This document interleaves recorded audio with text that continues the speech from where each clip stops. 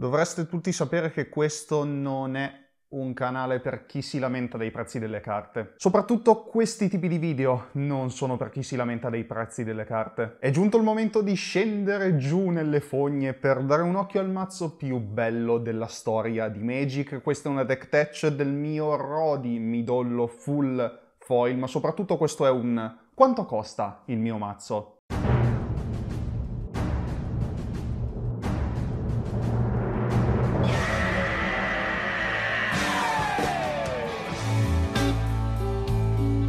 Eschero ragazzi da Omega e ben ritrovati qui su HMC Magic Masters. Era tantissimo che non vi portavo questa categoria di video, quindi sono felicissimo di questa cosa. Anche perché questo è stato forse, dico forse perché vatti a ricordare, il primo mazzo monocolore tematico che ho deciso di fare. La passione che ho per uh, i ratti in Magic da anni mi ha portato a fare questa creazione e finalmente l'ho finito, l'ho fatto full foil. E ci tengo a farvi notare che Rodi Midollo ha la bustina dei My Little Pony. Bello. Andiamo quindi a vedere ragazzi questo super mazzo, naturalmente vi darò qualche indicazione sul funzionamento, sulle carte più importanti, ma molto alla veloce ci concentriamo per lo più sul prezzo, sul pimp. Prima di partire vi invito naturalmente se non siete ancora iscritti al nostro canale e se vi piace Magic the Gathering a iscrivervi subito per tante tante tante belle cose su questo simpaticissimo e fantastico gioco. Vi invito naturalmente subito a mettere un bel like per supportarci nel caso il video vi dovesse piacere, facciamo arrivare questo video a 50 50 like, mm, ce la facciamo? Perché no andate anche a dare un'occhiata alla nostra pagina Facebook e se vi va di supportare il canale con una donazione ve ne siamo molto grati. Rodi Midollo, signore e signori, abbiamo oggi un mazzo a tema ratti, topi, bello, bello, bello. Innanzitutto partiamo con questa pedina topo di Tronovel Drain, so che non è un ratto però è troppo troppo caruccia, me l'ha regalata la mia amica Martina qualche tempo fa, quindi ciao ciao ciao. Abbiamo poi questa bellissima pedina ratto con Pikachu sopra che non so dire se è imbarazzante o se è la cosa più bella del mondo, non lo so, decidete un po' voi nei commenti. E partiamo con il comandante, ovvero Rodi Midollo midollo, costa 5 per un 2-3, tutti i ratti hanno paura. Tappiamo, sacrifichiamo un ratto e mettiamo in gioco X pedine ratto 1-1 nere, dove X è il numero di ratti che controlliamo. Guardate quanto è bella questa foil di Kamigawa. Direi di partire subito con le terre, andiamo con le terre base, signore e signori. Ho qualche palude che sì, credo valga la pena analizzare, anche se non troppe. Una standard showdown, un'altra versione di standard showdown. Questa bella bella di Teros ne ho messa una per mazzo. Tre paludi foil di Battle for Zendikar, una di Odissea e lo so che le confondo sempre con Mirage in tutti quanto costa il mio mazzo faccio questo errore questa volta non mi sono confuso abbiamo poi una palude dell'espansione scherzo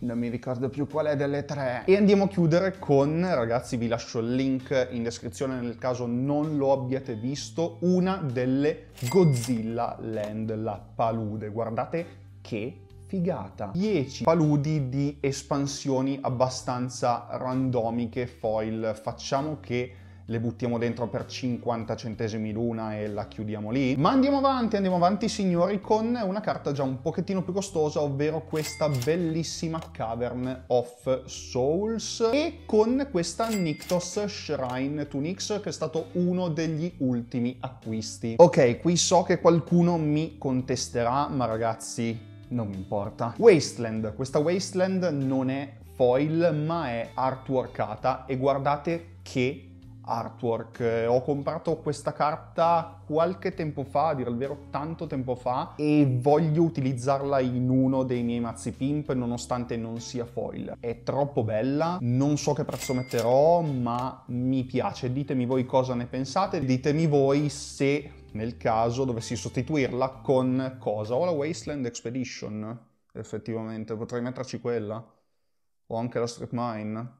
Ma non avevo sbatti di cambiarle. E andiamo avanti con qualche terra che non dà mana colorato. Prima di tutte immancabile la torre del reliquiario. Abbiamo poi Buried, ruin molto interessante per recuperare qualche artefatto dal cimitero e abbiamo un artefatto che va in combo con Rode Midollo, quindi ci sta. Myriad Landscape, l'avete vista praticamente in ogni mio mazzo. Abbiamo poi una vazzia di Vestvalle che si flippa e diventa questo demone indistruttibile ed è una Giappo Foil della pre-release, ce ne sono davvero poche in giro di queste, infatti l'avevo pagata un buon prezzettino, quindi penso che starà a qualcosa. Bruli Campo, ragazzi, sì, probabilmente molti di voi non conoscono questa landa, non è neanche una landa da due soldi ed è una landa fatta appositamente per ratti, ragni o scoiattoli o insetti. Yes, Discard is real. Abbiamo poi la brughiera, brulla, qua abbiamo un po' di utility lens, questa la andiamo a ciclare per pescare una carta addizionale. Ifrit Dead Lens, questa non mi ricordavo nemmeno di averla inserita, no? Tanto da farci capire. È abbastanza interessante perché comunque ha un'abilità secondaria, metto meno uno, meno uno, ci sta, può venire utile quando non si sa cosa fare. Abbiamo un acquetrino morente che fa sacrificare una creatura ad un avversario bersaglio e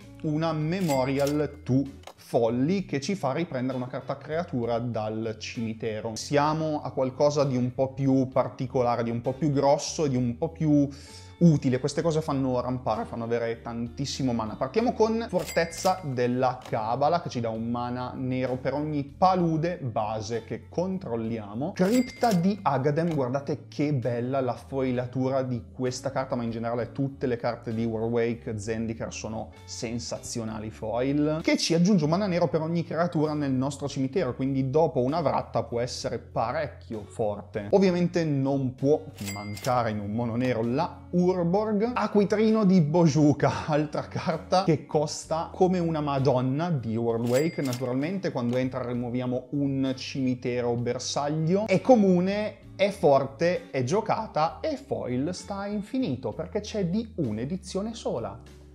E andiamo a chiudere con una Cabal Coffers di CI, non l'avevo nemmeno pagata tanto questa alla fine, non so se è salita o scesa, lo scoprirò in montaggio. Via con le lande, passiamo agli incantesimi. Partiamo con peste. Allora, questa carta non è né essenziale né forte in Commander in generale. Oddio, non è una brutta carta, ma non è tutta questa cosa in Commander. Tuttavia sono affezionatissimo a questa carta, ma proprio tanto affezionato. Quindi questa bellissima versione Giappo merita di stare qua dentro. Immancabile Necropotence, che credo sia giusto definire una delle P9 del Commander. Ora non è questa la situazione, ma in determinati mazzi combo quando entra Necropotence peschiamo praticamente tutto e abbiamo vinto. Quindi ci siamo capiti. Noi abbiamo questa bella versione del From the Vault Easy Easy. Arena di Phyrexia, carta naturalmente immancabile che ci fa pescare una volta in più. E andiamo a chiudere con Contamination, non esistono versioni foil anche di questa carta purtroppo. Essenzialmente dice che tutte le terre producono un mana nero, a prescindere dal colore, a prescindere dalla quantità di mana che produrrebbero normalmente, producono un mana nero. Al nostro mantenimento possiamo sacrificare una creatura o non sacrificarla, nel caso non sacrificassimo una creatura dobbiamo purtroppo sacrificare questo incantesimo. E tanta tanta roba, questa carta è un bel bocchino, gli avversari la vorranno rimuovere. E noi abbiamo comunque tanti topi per mantenerla in campo il più facilmente possibile. Via gli incantesimi e dentro questi poveri piccoli quattro istantanei. Partiamo con Sons of the Damned, aggiunge un mana nero per ogni carta creatura nel nostro cimitero, e hey, ne giochiamo tante e hey, i nostri avversari ce le toglieranno tutte, sicuro, e con questa andiamo a risolvere. Disprezzo di Vraska che a costo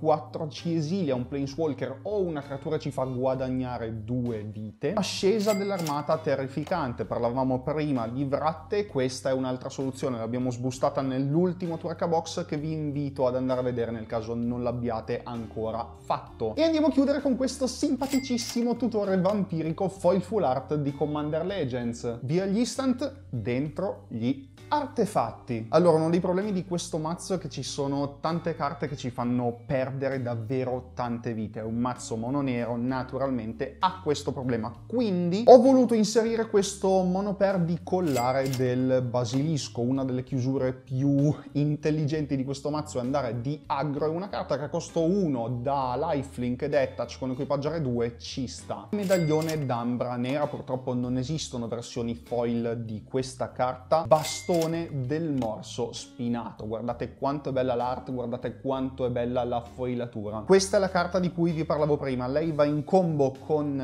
Rodi Midollo e crea un loop infinito di tap e stap per andare a creare ratti potenzialmente infiniti, quanti ne vogliamo. Una bella carta, a me una chiusura molto rischiosa, difficilmente la usiamo perché è facilmente prevedibile, però c'è. Monumento a Bontu per andare a ridurre il costo dei nostri bei topolini e comunque drena anche delle vite, non è per nulla male. Urza Incubator, questa dovrebbe stare a qualcosina. Pietra strimpellante, naturalmente giochiamo un mazzo ratti, naturalmente ci sono dentro i ratti spietati, con questa carta in campo praticamente giriamo tutti i ratti spietati del mazzo. Monumento di Eldrazi, perché se tanti ratti grossi grossi già non fanno paura, con un ulteriore volare e indistruttibile la fanno il doppio. E se non bastano dei ratti giganteschi con volare indistruttibile, andiamo ancora a potenziarli con ricordo di Acroma, che dice che le creature che controlliamo hanno volare, attacco improvviso, cautela, travolgere, rapidità, protezione dal rosso e dal nero. Sono dei mega tank, altro che razzo, sono delle nutrie, no? E andiamo a chiudere con un'altra di quelle carte che in Commander ti fa abbastanza vincere, ovvero Cittadella di Bolas, perché lanciare carte a zero è sempre carino. Ragazzi, siamo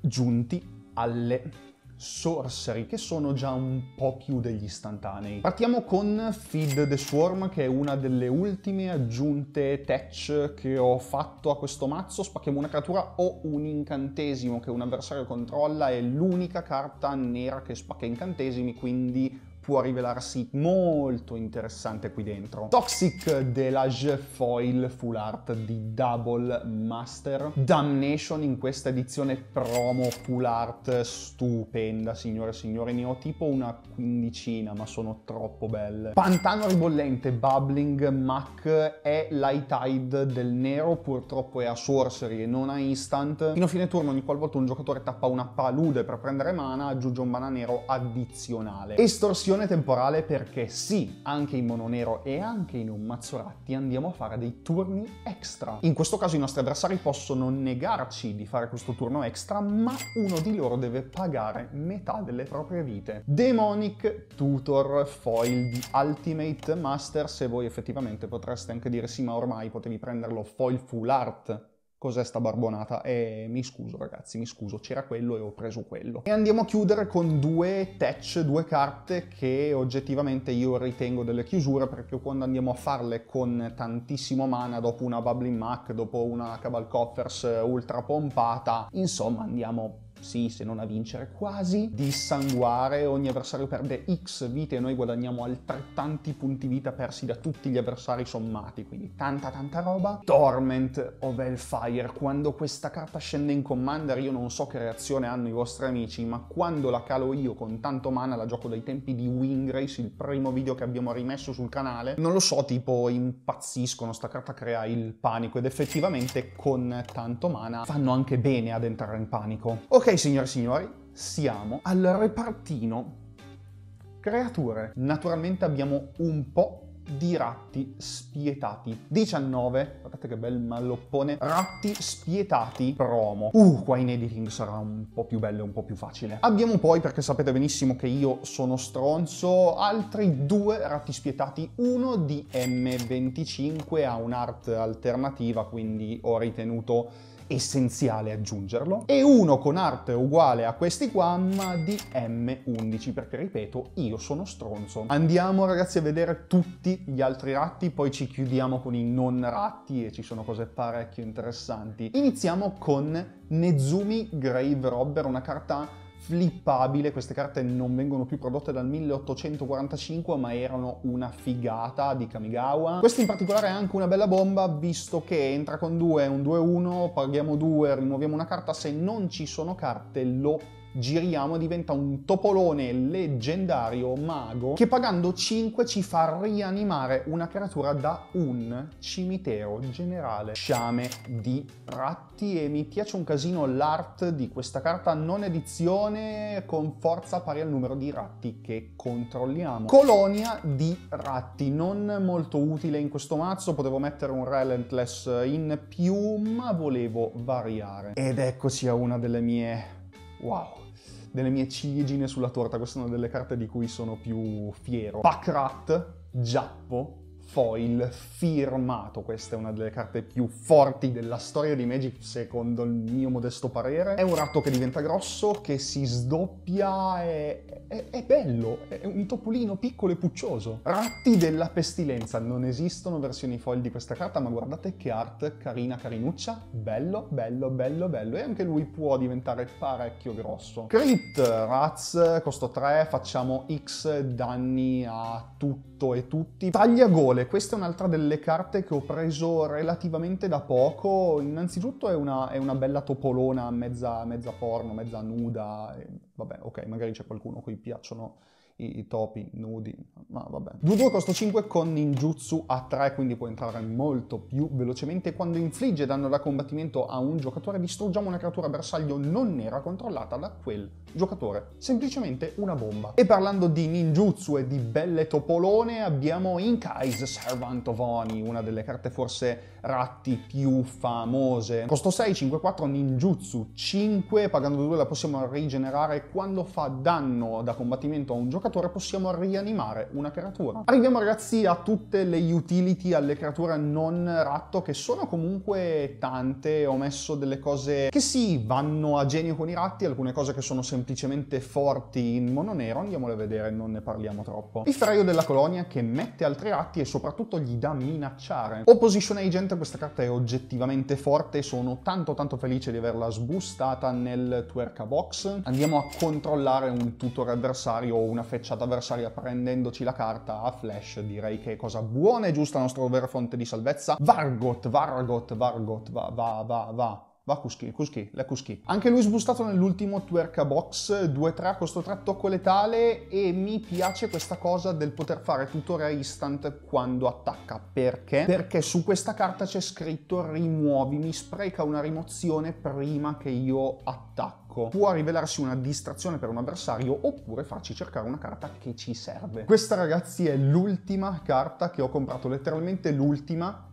perché mi sono dimenticato della sua esistenza, ok? Ho comprato la Nictos, ho detto wow, ho finito ratti? No. Crypt Gust. Questa bella bomba con estorsione a costo 4 2-2 raddoppia il mana prodotto dalle nostre paludi, quindi anche qui è una carta abbastanza essenziale in mono nero, soprattutto se nel nostro reparto chiusura ci sono carte appunto come Exanguinate o Torment. Mercante grigio di Asfodelo, immancabile in un mazzo del genere, visto e considerato che i ratti hanno hanno quasi tutti, almeno i Relentless, un doppio nero nel costo di mana, andiamo a rampare la devozione, andiamo a far perdere tantissimi punti vita. Ogre Slumlord, costo 5-3-3, Giappo, foil da Death Touch e ogni volta che una creatura non pedina muore crea un ratto 1-1 e sulla stessa linea abbiamo Rat Catcher, costo 6-4-4 paura ed è il tutore dei ratti. All'inizio del nostro mantenimento possiamo passare rassegna al Grimorio per cercare una carta ratto e mettercela in mano.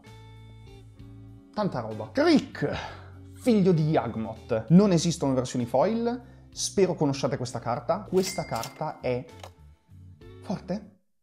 Troppo forte?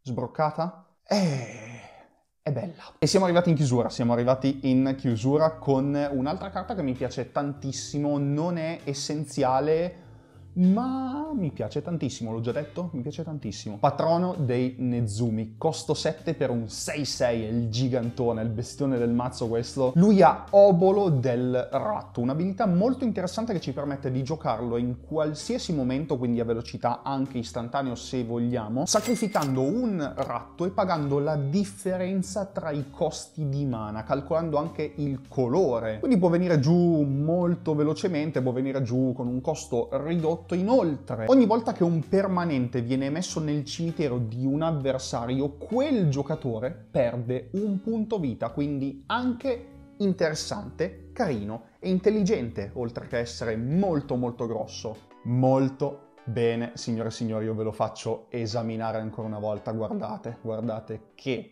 figata, che spettacolo di mazzo. Non sarà un top mazzo, non sarà competitivo, ditemi quello che volete. Questo è un mazzo bello, questo è un mazzo divertente, questo è il mazzo. Quindi, Omega, alla fine della fiera, noi siamo qui per un obiettivo. Quanto hai speso? Quanto costa il mio mazzo? Questo ammasso di topi di fogna raggiunge la cifra di Molto bene ragazzi, io spero naturalmente che questo video vi sia piaciuto, nel caso fatecelo sapere qui sotto con un bel like. Non ho la più pallida idea di quale sarà il prossimo, quanto costa il mio mazzo, probabilmente Progenitus perché Mono Bianco ho qualche idea ma non l'ho ancora realizzato, mentre invece Progenitus sto andando avanti con calma. Io vi invito di nuovo a iscrivervi se non l'avete ancora fatto e a visitare la nostra pagina Facebook per tutte le news le novità sul canale e non. Vi ringrazio per qualsiasi tipo di supporto, soprattutto naturalmente per le donazioni che ci fanno tanto comodo per aprire nuovi prodotti e implementare, aumentare la qualità del canale. E detto questo, ciao a tutti da Omega, grazie e alla prossima!